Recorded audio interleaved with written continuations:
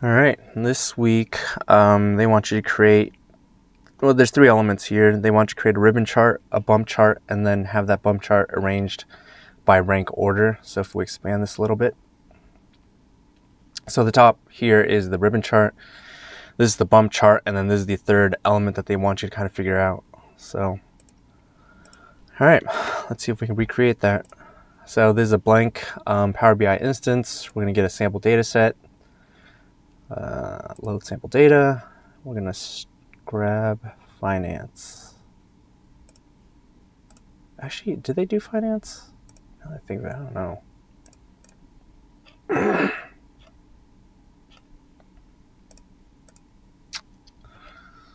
Use financial sample data set. They did. Okay. Thought I was going nuts for a while. Okay, so um, let's just recreate this. So first is we need some text. Uh, Hold on. I want to put this to another screen so I could reference it a little easier. All right.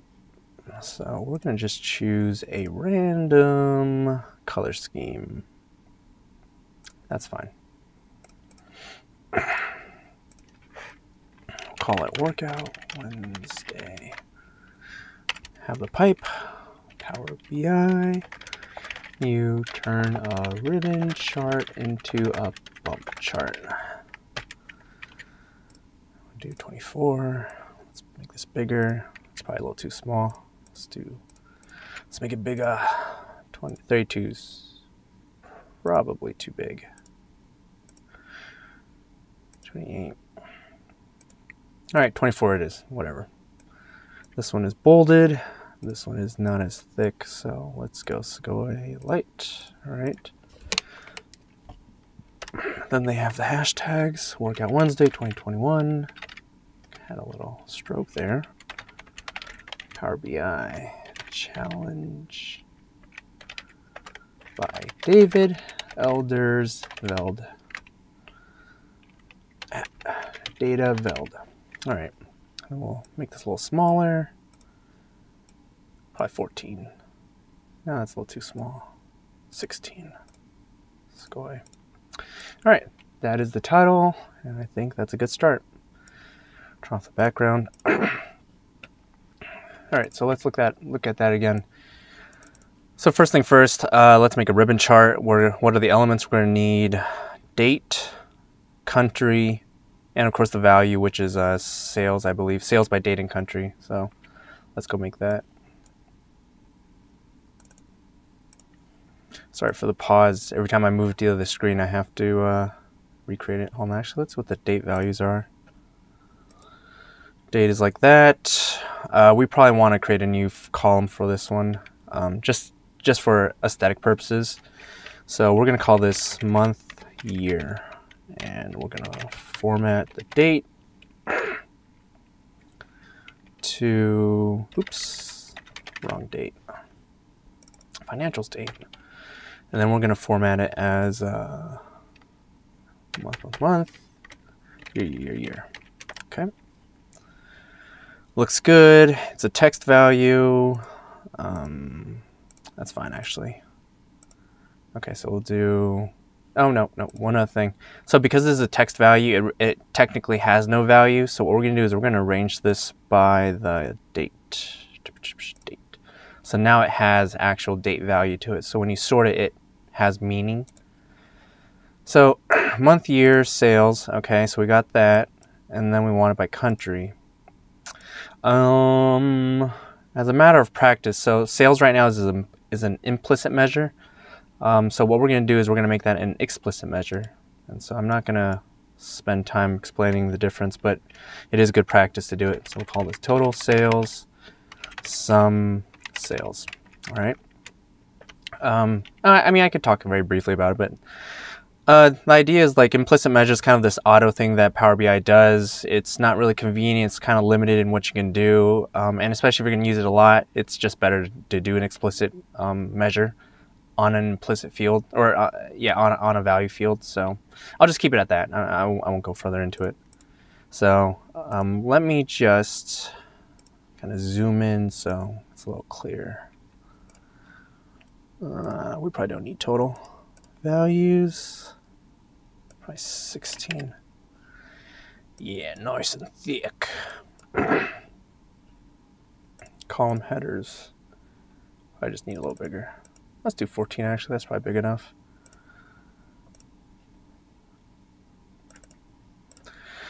Okay, so uh, just to show that there's nothing up my sleeve, same values, total sales is dollar amounts.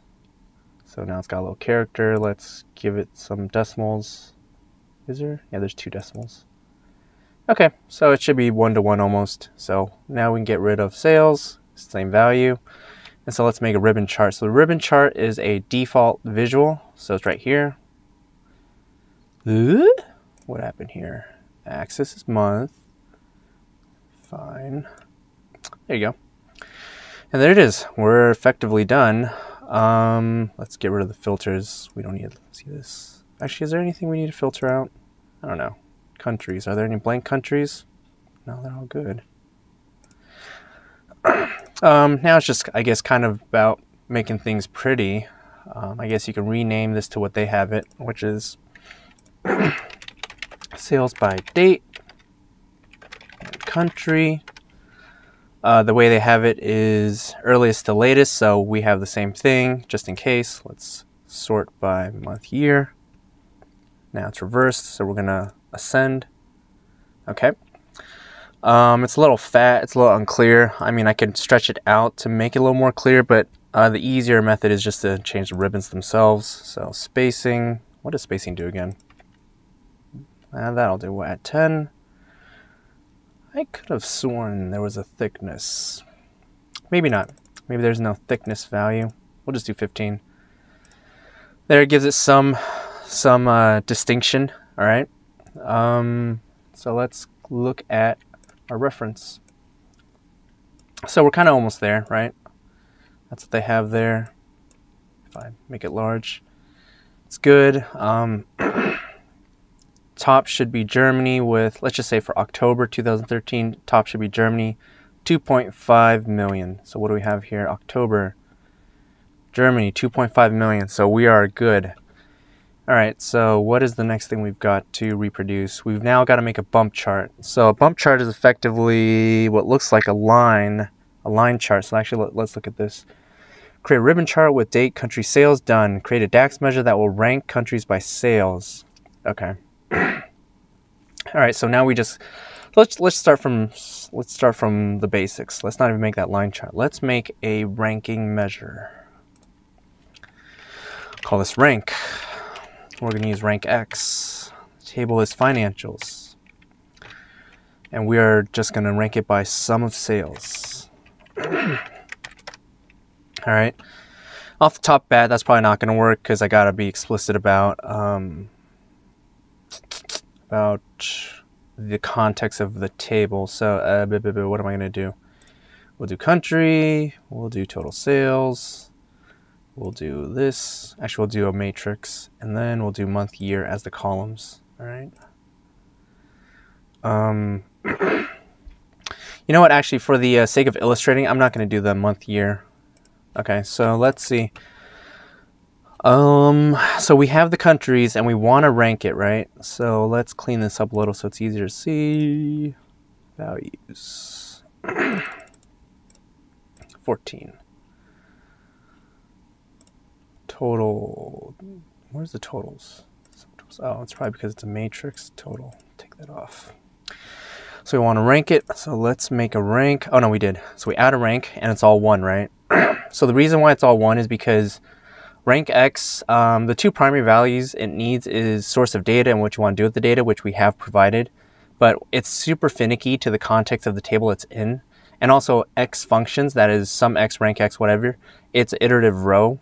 Um, row function. So um, effectively, this is correct in a sense. Um, all I'm saying is we got to give it some more detail so that it knows exactly what we want it to do. Because right now, the way it stands is it's looking at each row, and within each row, it's looking sort of at, at that table of data. But because each row only has one, um, effectively each row is the number one in number one value of that table, if you will. I'm doing air quotes, but nobody can nobody can see that. So um, what we're going to have to do is we're going to have to give it some context. So one way to do that is you can use all selected or you can do all. So in this case, we're going to do all. And the context is, hey, rank it by the sales, but um, take into account country. So we're to do all country. Let's see if that works. There you go, one, two, three, four. there you go. So United States should be the biggest out of the entire course of the month. Um, but of course we don't want that. We want a bump chart. So let's transform this into a line. That is not what we want, but we just got to fix that up. So the axis will not be the, the country. We'll put that as a legend. The axis will actually be the month year. That's weird. Why don't you... Alright, I'm confused. Oh, oh, oh, oh. Oh, it's... No. Now the axis is... Rank? Hold on. so it's that. So it's definitely month year. And then you definitely want to split it by. Oh, oh, oh, oh, oh, no, it's not. It's it's a rank. Rank is the value. Duh, there you go. So, and also, it doesn't have to be this thin, so let's make this a little bigger. Almost had a little brain fart there. 900. Ooh, it's a little ugly. it's a little hard to see, so we'll kind of make make do with it. So fit to width. Do that. All right, so we have it. Um, September 3rd, so it's all lined. The worst should be Canada. The best should be Germany uh, at first, I guess. Um, there's some cutting off, so what we can do is we can manually set the legend or the y-axis. So I'm going to set this at um, 5.5 and this will be at 0, all right? And now it's a little cleaner, um, uh, 0.5. Oh, oops, it goes backwards. 0 to 5.5. A little bit too much, so 0.5 that's I think that's good enough. So it should look something like this. So let's go back to requirements. So what do they have?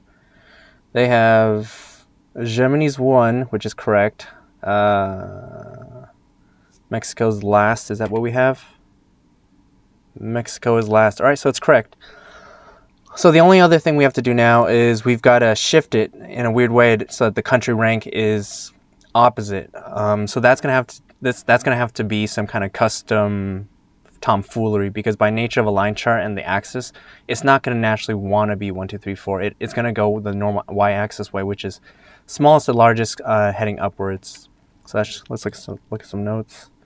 Use a DAX measure that will rank. We did that already. Um, add a line chart. Yeah, we did that. That, that includes day country. Uh, add markers to your chart. Determine a way to make your sales rank to peers. Uh, yeah, okay. If you modify, okay, I, I got the gist of it. All right, so we got to make it a little more pretty. So why don't we do that? Markers. Where are the markers? Is it shapes? Round? Show marker. There it is. Do diamonds. And then uh, bigger. 10. There's all the markers. And now we got to switch it. So one way obviously to switch it is to give it negative values. And this part I'm going to be really curious about how they do it. Um, so why don't we give it negative values to flip it? Uh, rank. So whatever rank you give, multiply by negative 1. And so what you're going to have is 0 because I have manually adjusted the uh, scale. So if I were to go back here, I'd actually want to go backwards. So um, negative 5.5, oops, to, I guess, negative 0.5. That should be it. Okay, so we're good, but how do we get rid of the negative sign?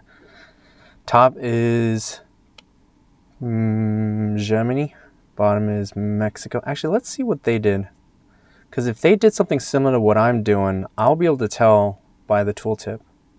No, they did not. Well, maybe, let's see. All right, so we're kind of getting there. Um, the problem is, hold on, sorry, I'm trying to clear my throat. We'll make this a little bigger. What was y? Was it already 10? Did I basically do nothing?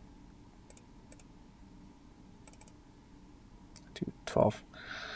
Um, what we can do is we could fool around with those numbers. So what I mean by that is we can go there, we can go to rank, we can go down format, we're gonna go to custom, custom format. So this will reveal the entire thing of how you want to customize it. So basically it tells you two things. Um, here's example of positive values, here's negative values, and here is a number example. So the custom format right now is putting everything as dollar uh, currency amounts. We don't need that, so we're gonna remove that. And then the other one is um, if it's positive, it'll have that, that normal number. If it's negative, it'll put it in brackets. So if we leave as is, I believe our ranking will, instead of have negative, it'll have brackets. So I'm going to delete, actually, you know what, I'll, I'll do it just, just a proof of concept. But I bet you my uh, graph is gonna have brackets. Yeah, there you go. So we go there and yeah, we're there. Right, we just delete the brackets so that we don't want that thing there. And there you go, voila. And it's one, two, three, four. So that is how I did it. Um, I don't know if that's how they did it. Um, you're gonna have to wait to see if they release a video. Um, I, I, mean, I guess if you want to do some nuances of your OCD, well, let me hold on. Let me see what what they call it. Sales rank by data and country. Lettuce sales rank by date and country. There you go. That way we're not a little too butthurt about it. y-axis. Let's get a name for that one. Show title, axis title, rank. Then, uh, yeah, I mean, at this point, you guys can check out. I'm just making it pretty. Eh, I'm not going to make it pretty. Okay, so that, that's it. That should be how you do it. Um, I'm not sure if that's how I actually do it, but it looks like it's pretty close. So, yeah,